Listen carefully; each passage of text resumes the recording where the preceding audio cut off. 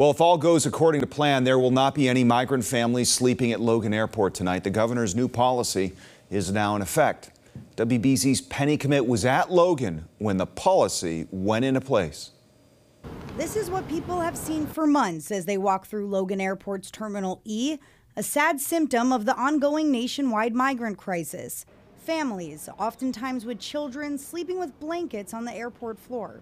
But now you can see Terminal E is empty. The migrant families were taken to day shelters, and starting tonight, they won't be able to come back. We've never thought that Logan was an appropriate place for people to be staying overnight. Governor Maura Healey drawing a hard line in the sand, now prohibiting migrant families from sleeping inside of Logan Airport. This morning, dozens of families were taken to shelters in taxis. We're told they usually return at night and during weekends. That's where volunteers like Katura Dews have stepped in.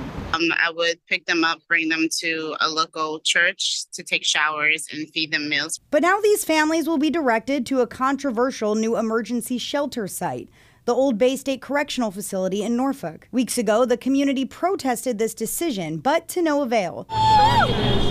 Meanwhile, Dews is hopeful that this will be a safer option for families, especially those with young children. I feel sad for them, but at the same time, it's um, a good thing to remove them out of the public eye. Being in the airport is not safe. Families will then have nine months to find a stable housing situation as the state works to connect them with jobs. Given, I think, the uh, enough lead time to work with case managers and service providers in finding new locations for people, and we've also made clear to those who might think about coming to Massachusetts that we're not going to be able to provide housing. A lot of them are looking for work. A lot of them want to thrive. A lot of them want to move forward. So once they get into the shelter, I just know that they're going to go further.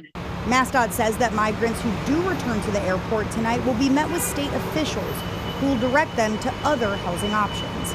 From Logan, Penny Kmitt, WBZ News.